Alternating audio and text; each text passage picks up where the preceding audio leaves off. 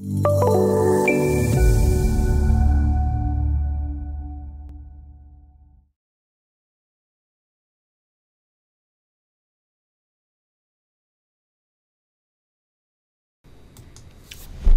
this video, we'll take a look at the drawing setup process for electrical files in our project. So continuing from the previous video where the file was registered, we get this drawing setup dialog box. Don't forget that if you happen to cancel out of that dialog box, you can always come back to it by going to the File tab in the ribbon interface, coming to Settings, and the settings for building, and here is settings for the electrical setup, and this first one will get us back to that drawing setup dialog box. You notice there's three tabs in here, My Symbols, Building Structure, and 3D. So we'll look at each of those tabs and what we set up in here. The current project symbol library will be selected. In my case, I have the ANSI Y 32.9 1972 symbol library. Then we notice we have three options here for scale factor, standard text size, and subtype text size. So the scale factor I'll leave at 1. The scale factor is for symbols that are not drawn in the real world measurements, like symbols for receptacle switches, etc. The delivered library, the library that I'm using, was created for 1 8 inch scale drawing drawings.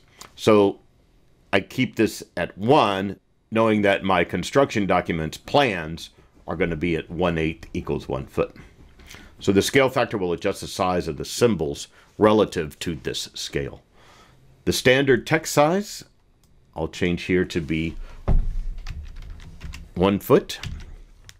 That's for some miscellaneous text in the electrical discipline. The subtype text size controls the initial size of the labels for circuit numbers and subtypes.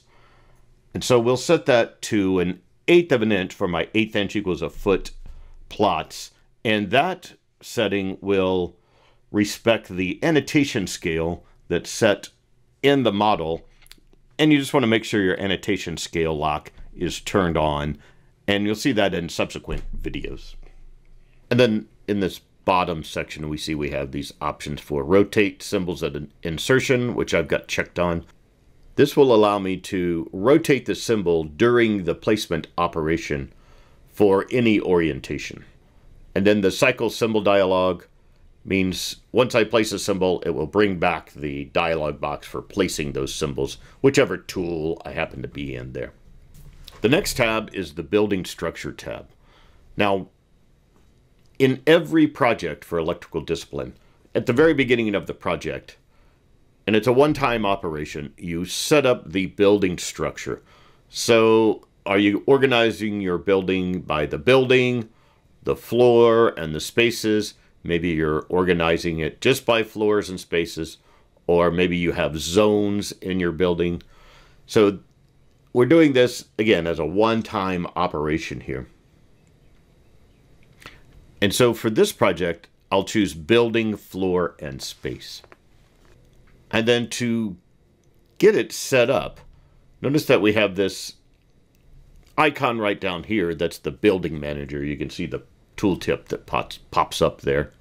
So if I choose that building manager, then I come to the building manager classification system dialog box here. And we can see where I've got, it's showing me that I have building floor and space selected here. So again, this is the first time I've done it for this project. So I'll come down to the lower left-hand corner down here where I've got these tools and select the new tool here. Then that will open this Create Keys dialog box. The keys are designations for the electrical database out there. So as far as placing symbols and doing our modeling, I'm not too concerned about the keys. That's just an identification in the electrical database out there. So you'll see in some of these dialog boxes, like this one here, create keys. That's what it's referring to. So we're, we're creating these keys in the database from this dialog box.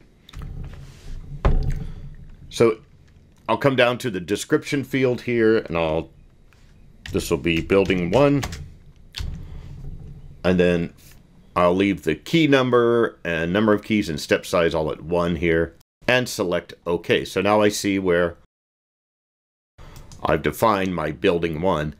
And then the database key I can see here is the 2.1. So, so back here in the building manager, we notice now that it says key floor one. So I'll come down here and click new. And now I see that I have floor highlighted here. So now I'm setting up the floors for the building. Again, I'll leave the key number, number of keys, and step size all at one. Come down to my description field and I'll call this floor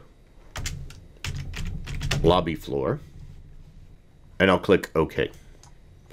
So we again, we see up here in the building manager how that is now being organized here as we create these.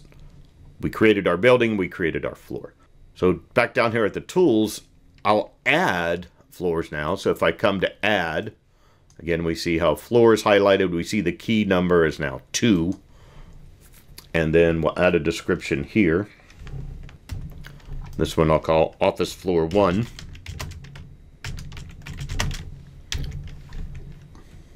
And click OK.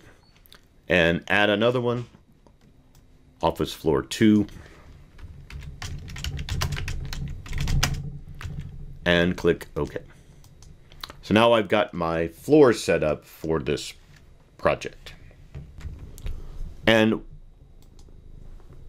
and we'll click OK here in this dialog box. So now I see back in my drawing setup that under building floor space, I have my building one, my lobby floor, my office floor one, and my office floor two. Then we'll switch over to the 3D tab here. And we see in the 3D tab, we have the ceiling height. So this is a general setting here for the floor. We can always set our our electrical symbols at heights as we place them, or we can simply use the ceiling height that we're de defining here. So it's just a general height for the, the floor. Some rooms might have a different ceiling height, and again, that can be done as we place the symbols. So I'll leave that at 10 feet. The floor level, I'll leave it zero. The tools will recognize that elevation for the floor and place the symbols relative to that elevation. The base angle we'll just leave at zero here. And then we have these options for 2D, 3D. You could work in a strictly 2D mode where you just see the 2D symbols as you model your electrical symbols, or you could work in a purely 3D mode where you would just see the 3D symbols. It's recommended that you use the 2D, 3D mode. You'll see the 3D representation of the electrical components and the 2D representation of the electrical components. And we have collision detection. We've got display clearance 1 and display clearance 2. Now I'm going to toggle both those on.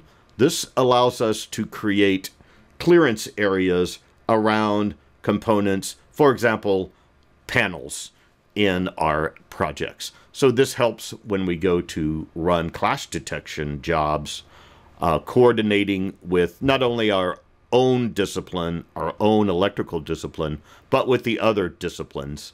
And we can help to avoid uh, clashes using these clearances in the models.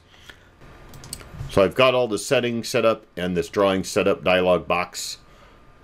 Just to make sure I'll go back to the building structure. And you always want to have a floor selected to associate the model with the floor. Now I'm in the discipline master. It still needs to be associated with the floor, so I'll choose lobby floor and say OK right there.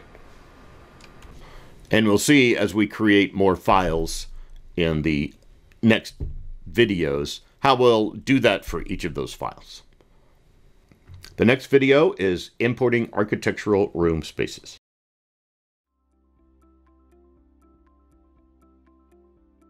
If you found this video helpful, please give it a like. If you want to see more such series, consider subscribing to our channel. Thank you, and see you next time.